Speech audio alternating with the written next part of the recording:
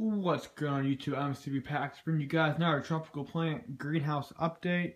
These plants were outside all day yesterday. We had another 60 degree day. We had last weekend too, but it's doing good. We're not. It's very rare that we're getting these kind of days in November. With being the first day of December, I don't think we're gonna get any more. I think yesterday was the last day. But then yet again, I said last week too that was the last day. But who knows? We might have some couple warm days in December. Who knows? We had a weird, weird weather up here. Some days it's really, really cold, 11 degrees. The next day it's 70 degrees. So, never know. Tropical Hawaiian plants doing really good. These ones are flowers here. These ones take forever to grow. I guess they came from the stock. I don't know what they're doing. They'll eventually start blooming. We got a flower right, or we got a leaf right there growing. These ones are exact same ones. Just taking their good old time. And we got some tropical fruit here. I think papayas. I think, I think that's what it's called. I keep forgetting. I keep forgetting avocados and papayas. I'm pretty sure the papayas though. They're taking a while.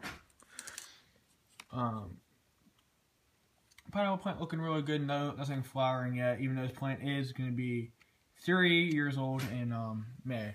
But by the way, I'll probably end up in spring or before. It takes six six weeks or something for it to start flowering. I'm gonna put uh, in a bag and or a clear plastic bag and have a couple apples in there, so the stuff, uh, carbon stuff comes off. The, well, I forget the exact name of it but it helps the flower. I'll do it probably. I think it takes six weeks or six months for it to grow.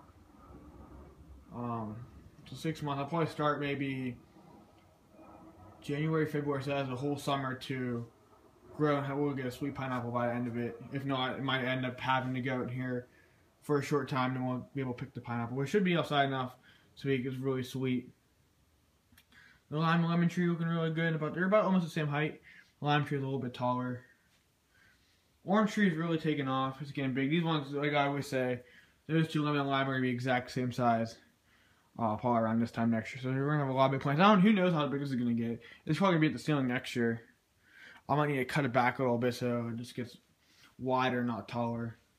Then last but not least, we got uh, pomegranates looking real good. This pot's in a complete disaster. It's broken in so many different spots. I had to fix it so much. But it's doing good hanging in there. We got some new flowers. I'm picking off any fruit grows just so I can focus on surviving the winter because there's really no need. It's not it's not gonna really produce good fruit if it's inside. But we gotta focus on that in the summer. So that's what's going on with the tropical plants. Everyone's doing really good. Mango's still hanging in there barely. I'm not sure what's going on with that. I just I always have problems with them like drying up and stuff. We got one leaf still growing, so still alive somewhat. But we'll see. The temperature in here right now is 60 degrees and the humidity is 46. Also outside right now, I think it's like 50 something. I think it's 52 right now. I'm not exactly sure, but it's pretty warm in here, and that heat light's definitely helping out too, and all the lights keeps it pretty warm. But eventually, I'm gonna have a fireproof tarp over it, just so.